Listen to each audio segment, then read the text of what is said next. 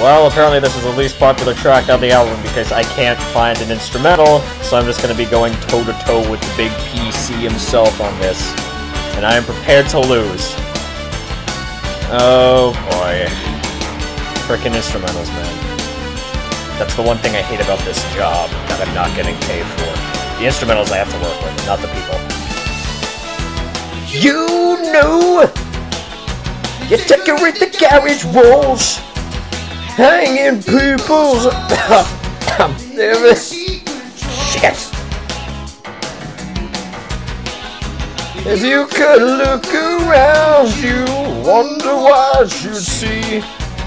Ah, that is, he's too talented. Fiction. So you really are, I know. Oh gosh, he's making my voice weaker with his own pure talent. How is that possible? That's cheating. He's a fucking cheater shit!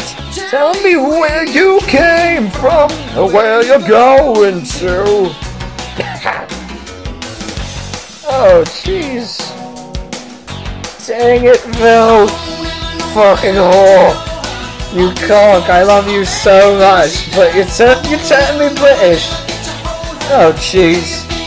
I'm turning it into the sad part version of Phil Collins just by listening to his voice and trying, attempting to combat him.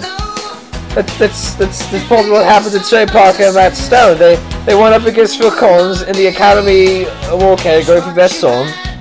And then they lost, of course, because they competed against Phil F. and Collins. And then they just had to channel all this shit I'm going through into their episode where they make fun of him. It wasn't actually making fun of him, it's freaking Phil Collins' disease.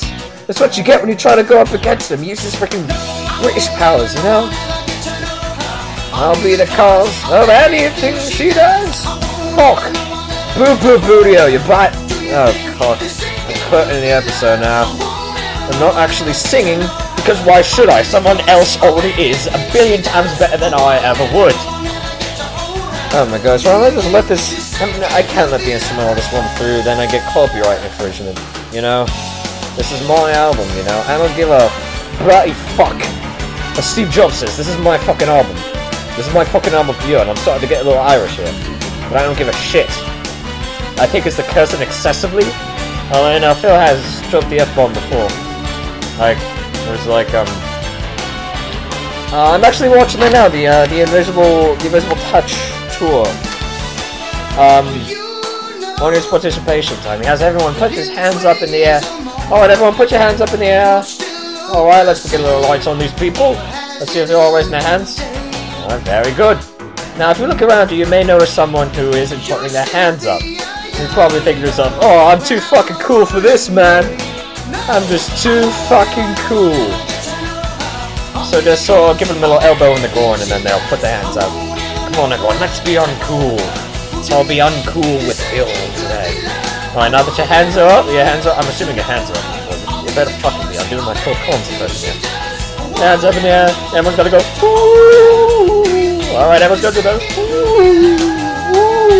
See, because we're trying to communicate with the other, world. It's a great fucking tool. It's it's the best tool they went on, at least of the ones I've seen on YouTube. Because it's like the, the happy balance between what Phil Collins started losing the power in his voice due to age, and when he really came as a singer. So this is him in his prime right there. And the song's over. Shit. Um, I hope you enjoyed.